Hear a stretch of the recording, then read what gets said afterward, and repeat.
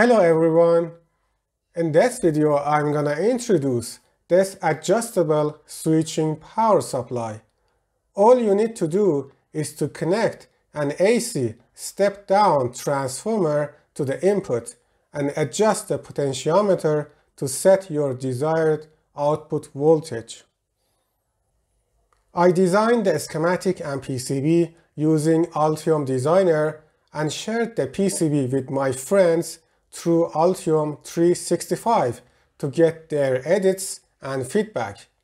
To obtain high quality fabricated boards, I sent the Gerbers to PCBWay and as you can see, the board fabrication and silk screen quality are excellent. The step-down controller is the TPS 54202 chip, which is compact in size. Let's examine the chip using the Octopart website. It provides a variety of useful information, including inventory history, price trends, and necessary component characteristics. According to the information available, the minimum output voltage of the chip can be as low as 0.6 volts and it can accept input voltages up to 28 volts. Additionally, the chip's ability to deliver a continuous current of 2 amps is particularly intriguing given its small SOT236 package. Let's go to Altium Designer to examine the PCB. If you don't have the Altium on your computer, the only thing you need to do is to follow this link in the YouTube video description and fill out a form. That allows you to download the latest version of the Altium and activate it with a free legal license.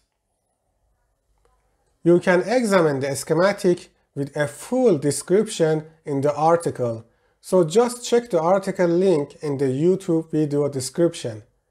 So I skip the schematic and directly talk about the PCB layout in the Altium Designer. As I always mention, the correct placement of the components is the first golden rule in a good PCB design. In the case of a high-frequency buck converter like this, where there is no output diode, it's crucial to position the inductor as close as possible to the controller. The input and output capacitors should be placed in a hierarchical order, which means the smallest capacitor should be as close as possible to the controller and vice versa. The length of the ground path should be minimized as much as possible. To achieve this, I have utilized top and bottom ground connected polygons to cover the board. However, I have also created polygon cutouts to establish clearance between the AC input and the ground. Another effective technique is placing wires near the controller and bypass capacitors, which aids in reducing the length of the ground path.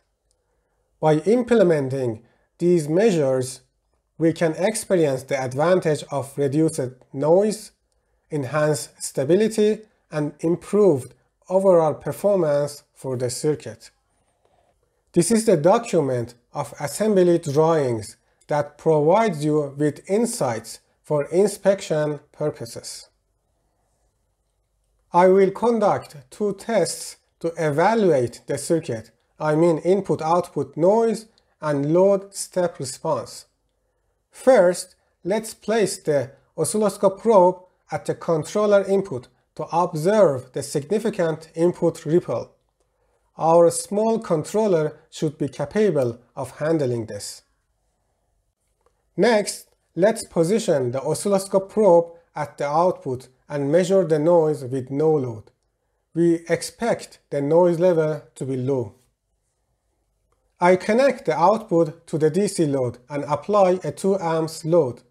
I intend to measure the output noise under the worst case scenario. Considering the extremely high input ripple, the power supply performs well. For the load step response test, I set the DC load to generate this current pulse and examine the output voltage for stability, recovery time, and ringing. As you see, the power supply performs well and recovers rapidly.